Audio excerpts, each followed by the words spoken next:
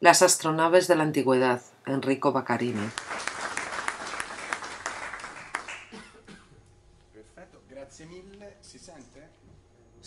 Muchas gracias. ¿Se escucha? ¿Se siente? Ahora se escucha. Muchas gracias a los organizadores, vosotros me habéis invitado. Gracias también por el pequeño saludo a Mauro, mi colega, por el libro que hemos escrito recientemente, que recorre varios argumentos por los que hoy también pasaremos. Hablaremos de muchas temáticas. El punto central que Mauro remarcaba en esencia es que la historia está siendo reescrita. Tal y como la conocemos es muy diferente de las naves de Nemi, a la historia romana, a la historia de Extremo Oriente. Hay que reescribirla totalmente. Porque hay tantos puntos oscuros, hay tantas cosas que hemos estudiado, pero no han ido como nos habíamos pensado, como habíamos creído. Y esto está emergiendo de manera preponderante en los últimos años. Villino lo ha enseñado y lo está haciendo leer a través de sus libros. Yo me ocupo del tema oriental y por lo tanto me explico muchas cosas de diferente manera a como las hemos estudiado en la escuela. Lo que surge en ciertas regiones de Extremo Oriente da al final una visión diferente de la vida. Yo no hablaré de espiritualidad, sino de historia, porque mi campo específico es el histórico y no el espiritual. Como algunos de vosotros, tengo mis creencias. Desde el punto de vista histórico, encontramos un abismo entre aquello que conocemos y aquello que hay en este mundo, en este mundo oriental. En este mapa podéis ver un trozo, una zona que conocemos bien, pero cuando íbamos a la escuela, al menos en mis tiempos, no soy extremadamente joven, lo que se estudiaba era un trozo del mundo que casi nunca iba más allá de lo platónico. Sin embargo, sí estudiábamos un poco de Mesopotamia. Aquello que estudiábamos eran solo los pueblos de Mesopotamia egipcios, colocados entre el 4000 y el 4500 a.C. Pero casi nunca, por no decir nunca, nadie hablaba de la civilización del Valle del Indo o de la proto-civilización china o japonesa. Realidades que son mucho más antiguas y realidades que profundizan verdaderamente en los albores de la historia del género humano. Hoy, porque estaba con nosotros durante la gira con el profesor, se hablaba de la última glaciación. Esta glaciación y este periodo histórico es fundamental porque constituye un depósito de lo que había antes y de lo que habrá después. Y las tradiciones hindúes lo explican de manera clara, sensata, sin ningún tipo de interpretación. Lo veremos en breve. El punto interesante, yo personalmente he centrado mis investigaciones en el mundo hinduista, que es un poco diferente de lo que conocemos hoy, porque las primeras civilizaciones que se asientan en esta zona geográfica, en lo que hoy es la actual Pakistán y en toda la zona norte de la India, e in tutta la zona dell'India del Nord. Al sur se encontraba otra población verdaderamente fascinante llamada pero es muy posterior, porque la civilización del Valle del Indo, que se ubicó principalmente a lo largo del Indo, aunque no solo ahí, ella y sus antepasados, se puede decir, sus albores, se sitúan en una época en la que no tenía que haber nada.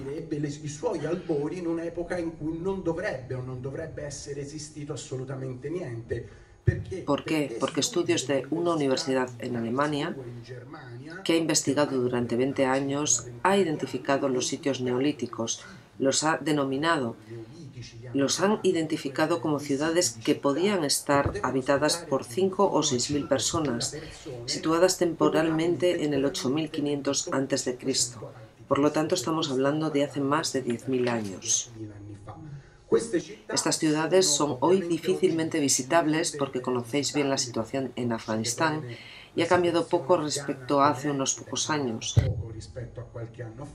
Pero sin embargo tenemos las expediciones que se han realizado, las excavaciones que se han llevado a cabo, han abierto una gran brecha en lo referente a la datación cronológica de los orígenes de la humanidad.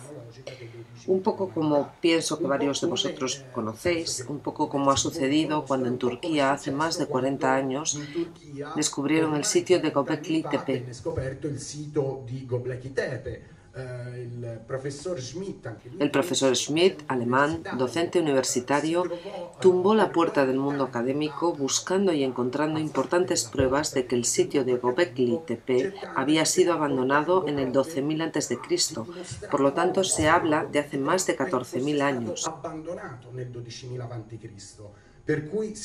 Se habla de una civilización mucho más avanzada que la que ha construido Stone Age, que ha construido monolitos con un diseño y que en un cierto momento, por motivos poco claros, lo han cubierto todo. Todo ha desaparecido y no tenemos huellas que seguir.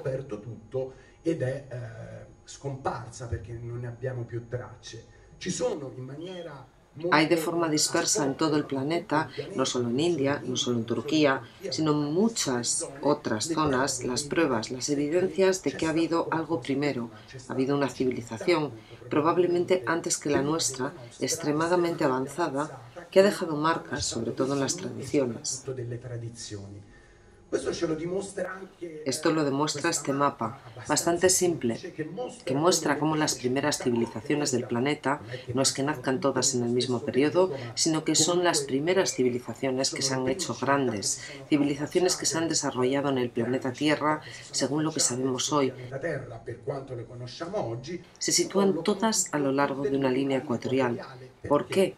Porque volviendo a la última glaciación que terminó en el 10.500 a.C., momento en el que finaliza esta glaciación, todo el norte de Europa, probablemente también la inclinación del eje terrestre era diferente.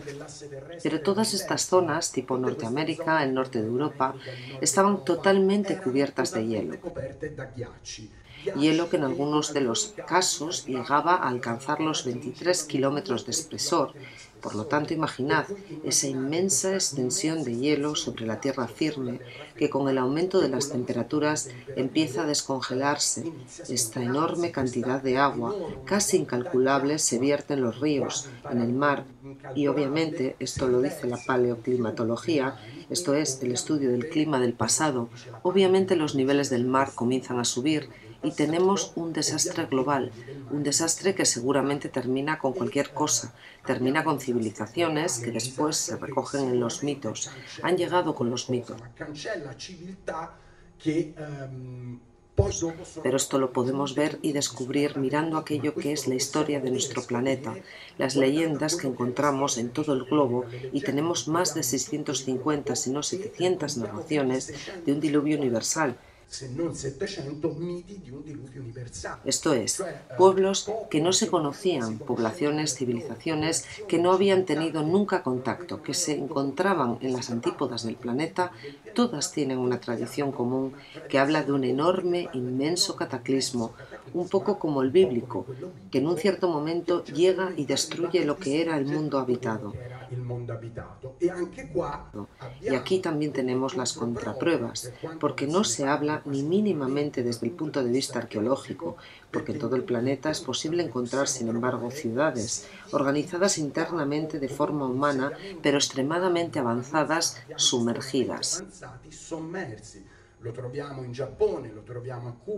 Lo encontramos en Japón, lo encontramos en Cuba, lo encontramos en Sudamérica, lo encontramos, y aquí el trabajo que me fascina, me apasiona desde hace años, lo podemos encontrar en India. A lo largo de todo el litoral costero hindú, hasta dos kilómetros, dos kilómetros y medio de la costa, hace 10, 15 años, el Instituto Oceanográfico Hindú ya había identificado ciudades sumergidas que se han datado de varias maneras en el periodo de 9000 al 9500 a.C. Esto justifica lo que cuentan ciertas leyendas hindúes y también justifica una visión del pasado diferente a la que hemos conocido hasta hoy. El pasado se está reescribiendo y las mismas tradiciones hindúes lo cuentan. ¿Por qué? Porque en el enorme panteón de estas religiones, cosas sacras del hinduismo, encontramos muchísimas tradiciones que han hablado de un diluvio. Unos lo llamaron impera laya, de un diluvio que destruye la civilización precedente y que hubo supervivientes. Obviamente Mano, que es el correlativo Noé hindú, fue guiado para construir una embarcación donde se metieron animales, semillas, para recrear la agricultura en cierta zona del planeta, hasta el punto fundamental de que en la tradición hinduista se habla también de salvar el conocimiento. El punto fundamental es que en la tradición indiana se habla anche di eh, salvare la conoscenza. En sánscrito, conocimiento se dice Veda, y son los textos sagrados, y serán salvados, estarán en esta embarcación, aquellos que la tradición hinduista llama Satarishi. Los hombres con la capacidad, que tenían la capacidad específica de salvar conocimientos, para que no se perdieran, porque la nueva civilización que llegará tendrá que poder utilizar este conocimiento para dar un nuevo inicio, un nuevo comienzo a la civilización misma.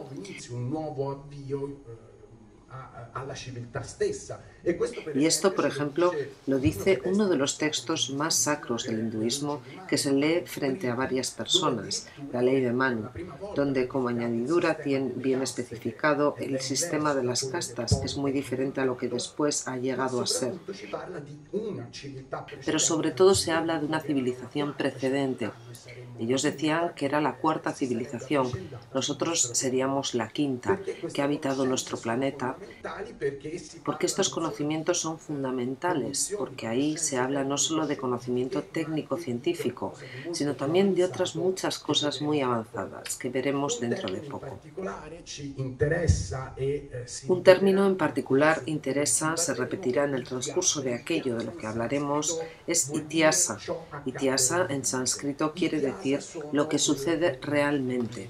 Los itiasa aparecen en el Ramayana y en el Mahabharata, que son los dos textos épicos principales, un poco diría como nuestra Odisea, pero mucho más grande, mm, que la tradición hinduista posee. En estos dos textos épicos, como en tantísimos otros textos religiosos, se dan nociones, se dan condiciones específicas, se habla de Vimana, tal vez muchos de vosotros conozcáis el término, pero Vimana eran las naves, por utilizar un término claro en este momento, o los carros de, eh, de las antiguas divinidades hindúes o i carri degli dei delle antiche divinità indiane. Lo curioso es que estos carros divinos eran mucho más concretos y tecnológicos que los que aparecen en la Biblia o el carro con las ruedas que tal vez eh, la tradición griega nos ha mostrado.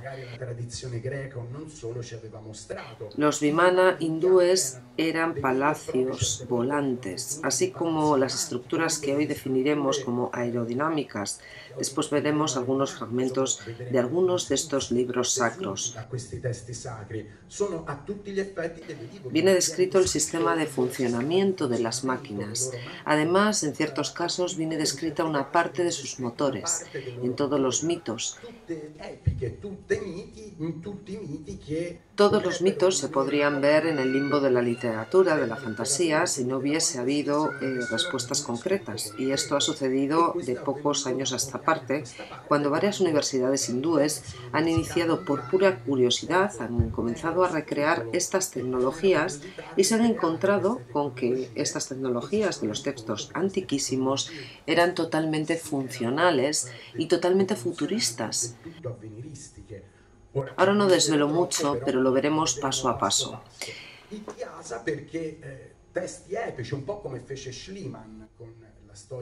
Porque los textos épicos, un poco como hace Schliemann con la historia de Troya, que en resumen intentó entender si se trataba simplemente de un mito, y se fue allí a excavar y vio que realmente existía una ciudad y que esa ciudad se identificaba con aquello que los textos épicos griegos habían narrado, por lo cual se ha hecho el mismo trabajo en Oriente. Estamos en una zona, como decía, del planeta hoy, lugar de conflictos. No es nada fácil llegar. Muy pocos han tenido la fortuna, hace unos pocos años, en 2012, de ir a Pakistán. Tal vez el año que viene sea posible volver pero he ido a ciertos lugares, he investigado junto a otros estudiosos y un equipo de televisión y hemos intentado entender si realmente tal vez habría una conexión entre los textos épicos hindús y la realidad arqueológica e histórica. Y esto se ha evidenciado, probado con muchísimos descubrimientos. La civilización del Valle del Indo es la madre de la civilización a la que me refería antes, una civilización cuyos orígenes se remontan, en definitiva, al mismo origen de la humanidad. Hasta el momento no se habla ni de 100 años de excavaciones arqueológicas y hasta hoy se han encontrado más de 1.200 sitios, sitios arqueológicos, algunos de los que se sitúan a lo largo de la ribera del Indo o en la cercanía. Muchos otros, se habla más del 80%, colocados lejos de los ríos. Esto hace explotar el mito de que se trató solo de una civilización fluvial, porque lo curioso es que la civilización del Indo en el 2000 a.C. desaparece y no se sabe nada de qué hicieron sus habitantes, los habitantes de estas 1200 ciudades. No se sabe, no se produjeron guerras, no se produjeron invasiones, no hay un motivo aparente que podría haber llevado a huir a mucha gente muy probablemente al norte de la India, y aquí unos siglos después encontraremos una civilización bélica que sin embargo se dedica a un buen enjuiciamiento. El hecho es que muchas de estas ciudades fueron despobladas por aquellas guerras que encontramos en los textos épicos hindús, en particular en el texto épico Ramayana. Y Mohenjo-Daro, que aquí encontráis escrito en grande y que es la que más interesa de todas, por las curiosidades y por las muchas anomalías que veremos. Era una ciudad inmensa en el 2000 a.C. Los estudios de la Universidad de los que hablábamos antes, han confirmado que Mohenjo-Daro en el 2000 a.C. tenía una población de 100.000 habitantes. Esto es algo increíble y enorme. Es casi una megápolis moderna, comparable a una megápolis moderna de 20 millones de habitantes, porque la población mundial en ese periodo histórico era obviamente, como podéis imaginaros, menor respecto a la actual. Por eso no se sabe qué final ha tenido esta población y se han encontrado solo 43 esqueletos, algunos de ellos en condiciones particulares de las que hablaremos después, que han hecho creer que son las tradiciones épicas, la historia del hinduismo más antiguo. Un punto central es el hecho de que, a diferencia de muchas tradiciones, la tradición hinduista, la tradición hindú, ha sido siempre una tradición oral, esto es, la información, los libros de conocimiento sacro, eran dictados de maestro a discípulo, como dicen ellos, de boca a oreja, solo de manera oral. En un tiempo más reciente, hablamos del quinto o cuarto siglo antes de Cristo, se comienza a transcribir estas tradiciones sobre hojas de palma, que no son las mismas que las hojas de destino, aunque las hojas de destino fueron escritas en hojas de palma pero son el correspondiente al papiro egipcio y se comienza a transcribir simplemente porque el budismo en sus albores estaba comenzando a difundirse, proponiendo a sus nuevos adeptos textos que leer, que estudiar, aquello que era la filosofía del mismo Buda.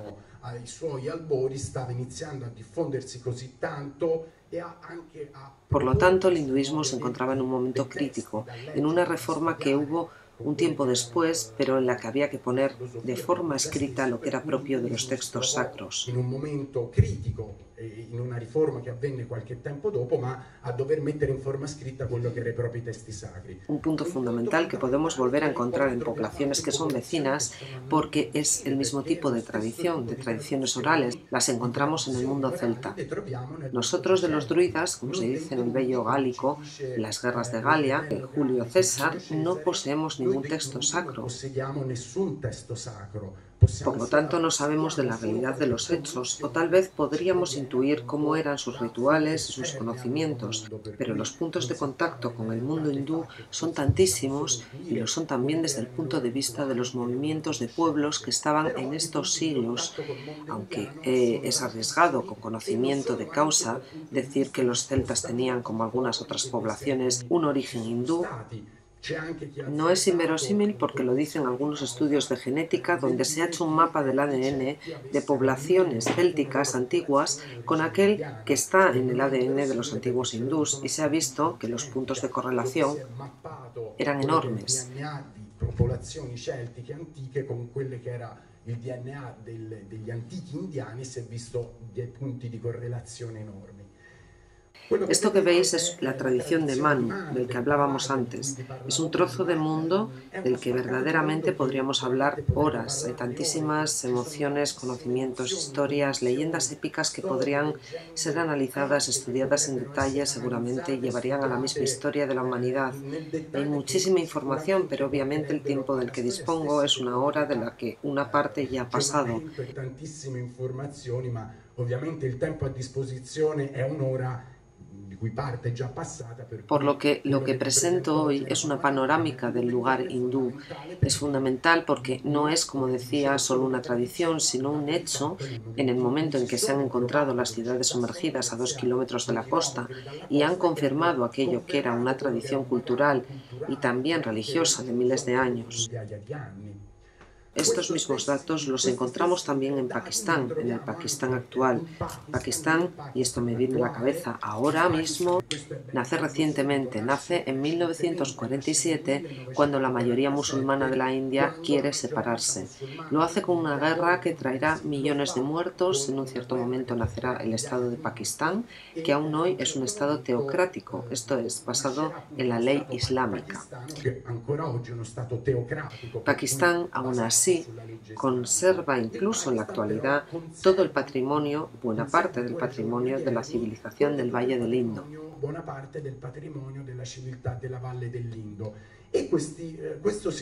Este sello, descubierto en Mohenjo-Daro, datado en el 1600 a.C., es interesante por muchos motivos.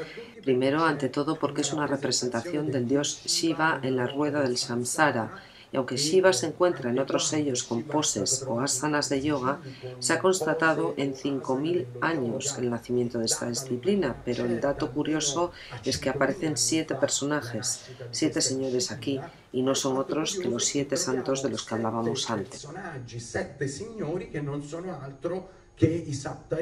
Ellos a los que se le había dado tal vez la tarea, tal vez el honor de salvar el conocimiento y llevarlo a la civilización que vendría después.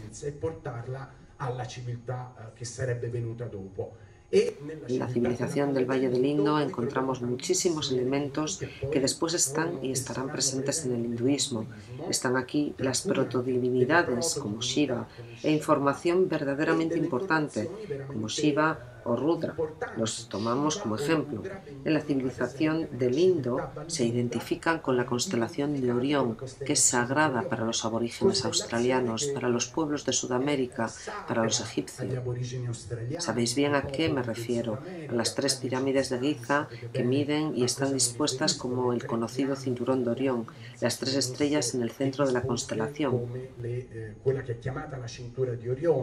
Le tre stelle eh, al centro de la constelazione.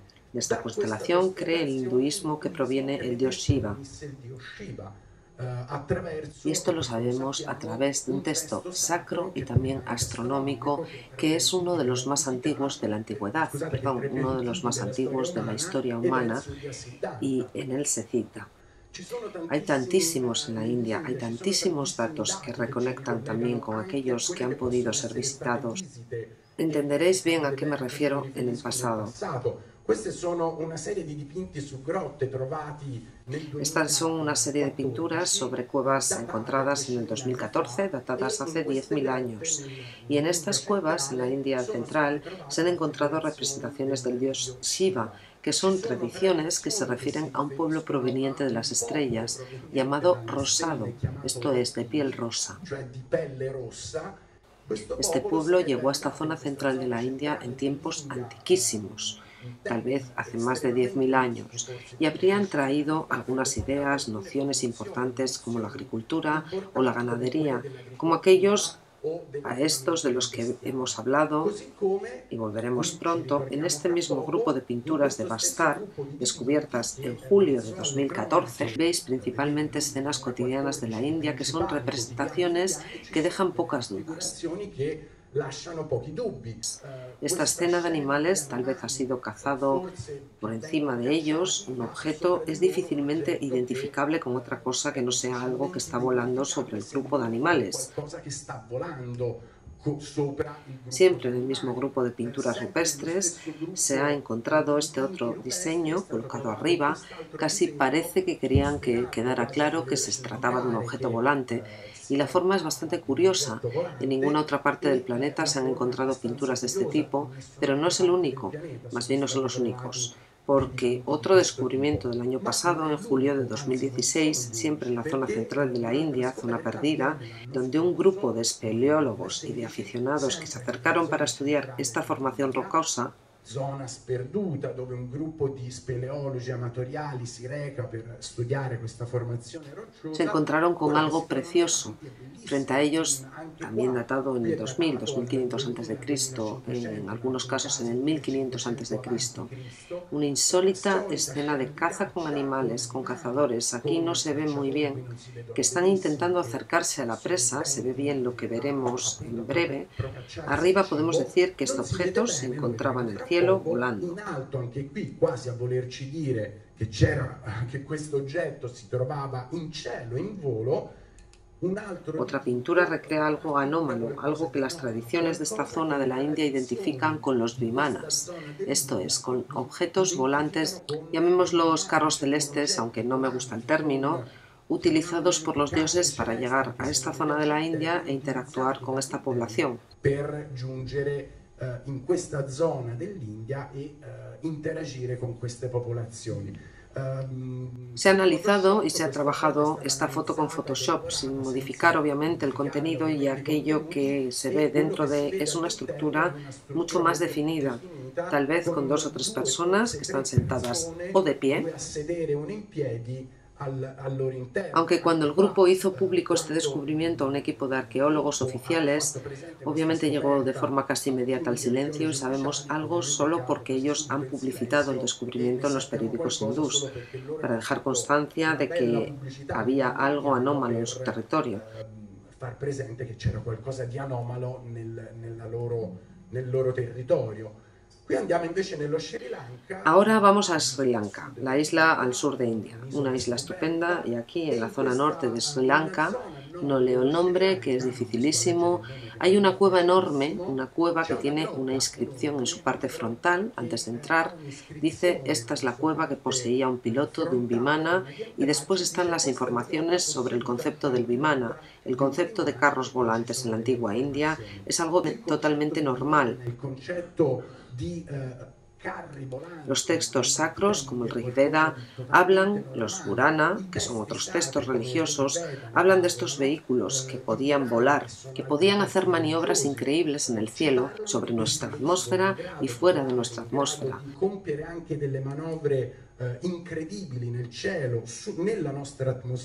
Como decíamos antes, vamos llegando a un nivel de detalle al que se añade el velo de la religiosidad su nivel de detalle técnico, mecánico y científico que ha permitido reconstruir algunas de estas maquinarias. che eh, ha permesso di ricostruire alcuni di questi macchinari.